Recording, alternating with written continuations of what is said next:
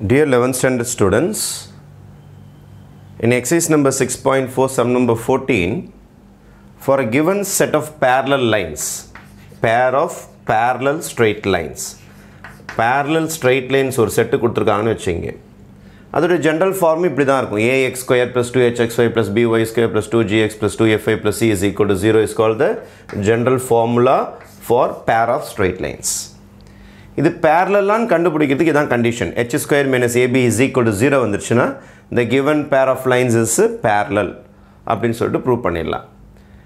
Distance between the parallel lines இந்த லைனுக்கும் இந்த லைனுக்கும் பேரலல் கண்டுபிடிக்கணும். அதுக்கு நடுவில் இருக்கிற டிஸ்டன்ஸ் மட்டும் கண்டுபிடிக்கணும் அப்படின்னா இதான் ஃபார்முலா நமக்கு. Two into square root of g square minus a c வச்சு ஒரு ஃபார்முலா இருக்கும். இன்னொன்று எஃப் ஸ்கொயர் மைனஸ் பிசி வச்சுருக்கும் எது கம்ஃபர்டபுளாக இருக்கோ அந்த வேல்யூஸ் யூஸ் பண்ணிக்கலாம். G square minus a c by a into a plus b இன்னொன்று f square minus b c by b into a plus b இந்த ஃபார்முலாஸ் யூஸ் பண்ணி you can find the distance between எந்த formula போட்டாலும் அதே தான் வரும் எது கம்ஃபர்டபுளாக இருக்கோ அந்த ஃபார்முலா நீங்கள் யூஸ் பண்ணிங்க. உங்களுக்கு வேல்யூஸ் பாருங்கள் எது கம்ஃபர்டபுளாக சப்ஸ்டியூட் பண்ண முடியும் ஈஸியாக சப்ஸ்டியூட் பண்ண முடியுமோ அதை யூஸ் பண்ணி போட்டுக்கலாம். அப்போ இந்த ரெண்டு வேல்யூஸை யூஸ் பண்ணிக்கிட்டு நம்ம டிஸ்டன்ஸ் கண்டுபிடிச்சிடலாம் ஈஸியாக இந்த கொஷினும் அது பேஸ்டு தான்.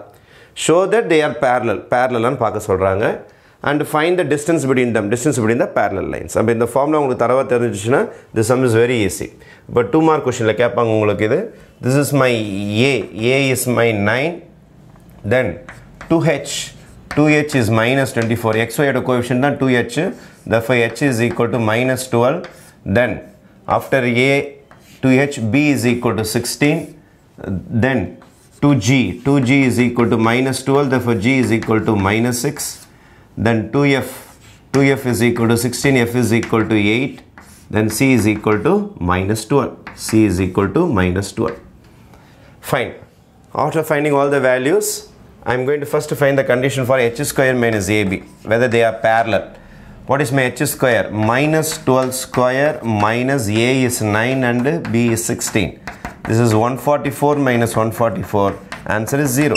Answer 0 வந்ததுனால you can declare, uh, Uh, find the, show that the lines are parallel lines. அப்போ given equation represent a pair of parallel lines. This is my first result. அப்போ இந்த கண்டிஷன் நமக்கு ஜீரோ வந்ததுனால given equation represents a pair of parallel lines ஒன்று முடிஞ்சிடுச்சு அதுக்கப்புறம் distance கேட்டிருக்காங்க distance first formula கூட யூஸ் பண்ணலாம் two into square root of g square minus AC by A into A plus B is equal to square root of G square.